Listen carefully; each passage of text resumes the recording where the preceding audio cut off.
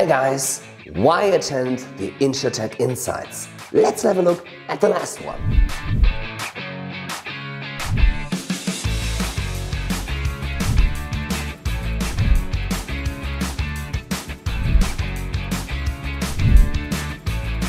I went to the InsurTech Insights to the beautiful city of London in order to do two things. First, I wanted to meet a lot of old and new friends. And second, I'm out of the C-suite panel rethinking customer experiences to gain customer loyalty. And I was happy to have people like Karl Christensen from Swiss Re and iptiQ there, John Cooper from Live.io, Roman Rittberger from Ottonova from Munich, Natalie Gray from Cover, and last but not least, Josh Hart from YuLife. Thank you for this great panel, by the way. So why should you go to the InsurTech Insights? Here are my four reasons. First, it's a brilliant opportunity to network with the innovators of the insurance and insurtech industry in Europe and beyond. Why does it work? The InsurTech Insight relies on Umbrella, a very well-made app.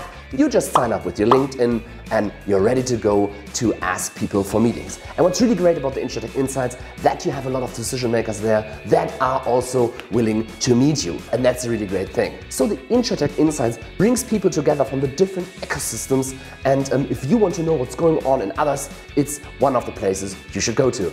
Number two, the second reason why to attend the InsurTech Insights is that you have a lot of exciting keynotes and panels there. But what I learned there, I will share in a different video. Number three, the InsurTech Insights is a very well organized conference built by an amazing team of people that really want that you have the best time there and you take the most out of it.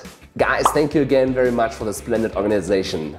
Number four, well, of course, the City of London is also a very good reason why to attend the InsurTech Insights. So you don't only have the intellectual inspiration, the networking and a very well organized event, but also a very beautiful city. You can stroll around or you can also meet people from the UK ecosystem.